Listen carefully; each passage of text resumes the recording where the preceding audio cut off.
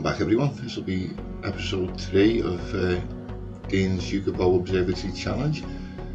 And uh, this will be the last one for this one. We get back to Spud Castle after this. It's been a nice little fun diversion. right, um, as I said we would, we discussed what these are in this episode. So you might recognise this. This is um, the electric car factory. And that's the Faraday electric cars. Yep. And then over here we've got rainforestretail.com. Oh, there's a hot air balloon going over. We'll, we'll have a look at that in a second. Um, now these um, belong to a couple of billionaires who are responsible pretty much for the investment that was required to build the observatory so rapidly. Um, and they've got an ulterior motive. First, let's take a look at this billionaire down here. He was the first one to come over and um, start settling in this area. And this is the Dicky Pickle residence. Now, we don't think he's going to win the space race here. Um, because he's too busy playing with his hot air balloons and um, toy trains and messing about playing doctors and nurses with hospitals and things.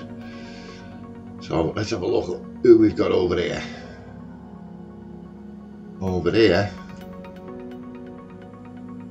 we've got Elon Tusk's mansion. And he's the guy who owns the uh, the Faraday electric cars. And his mortal enemy, they can't stand each other. And they've been trying to outdo each other for years and years and years. And this one is Jeb Bozo's mansion. And these two have been basically trying to outdo each other for years and years and years, can't stand each other, and um, they've been looking for different ways to wave their willy at the world. So we've got Jeb Bezos's willy,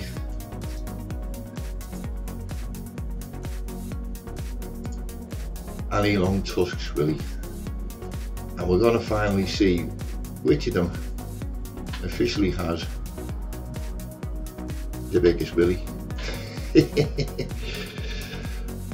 what they don't know though is the Wizards have got a little surprising for them and uh, we shall watch as things progress. Uh, turn day night off for this one I and uh, go back into daytime. How are we getting on? Oh, it's going to be a while.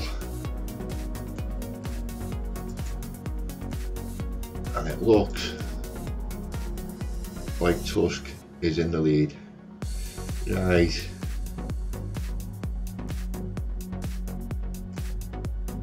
I shall make a little cut and we shall uh, come back when one of us is ready to launch.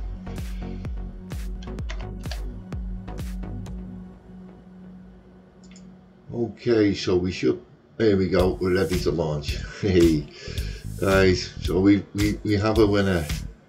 Elon's Willie. And ah, how much did he win by? Did he, the guy even get it out? Oh yeah, he got it to the pad. well, off you go.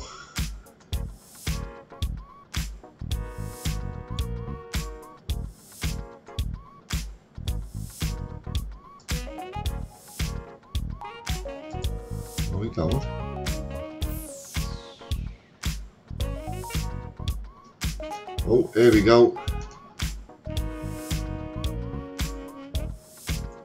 And there he goes. Bye bye, Elon.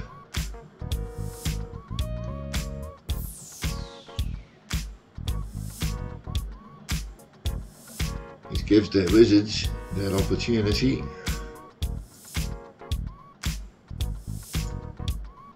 Uh, where's it gone? I forget how to do this now.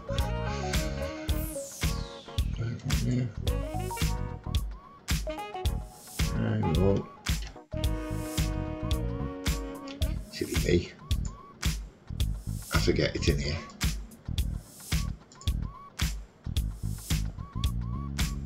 And that one there.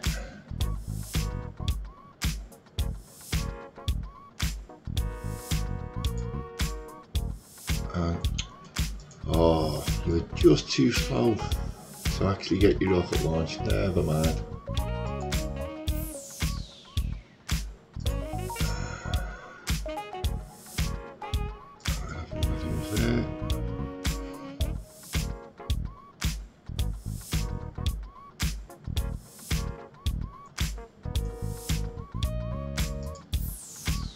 Going to move it.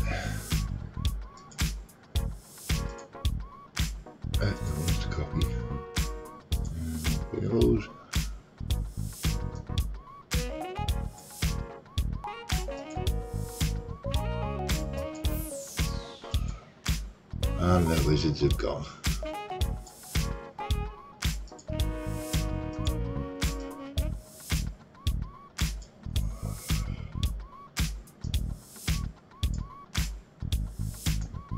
Not see.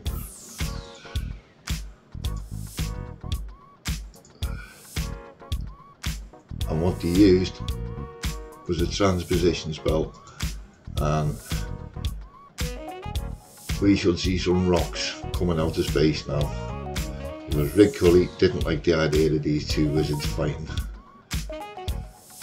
So, just a matter of waiting for them to come up the sky now. Maybe always the alarm going off now.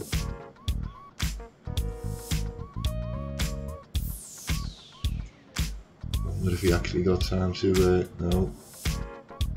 He never made it off the island.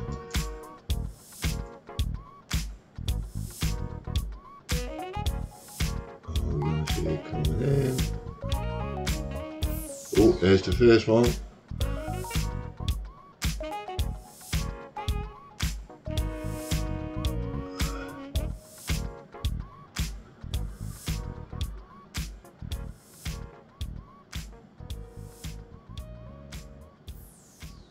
Take that Elon Tusk.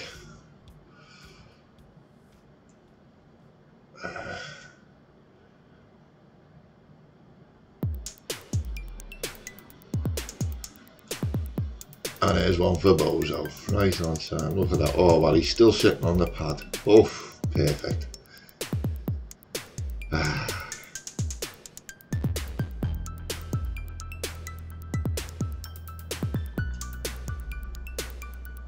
Only people like that paid their taxes, eh?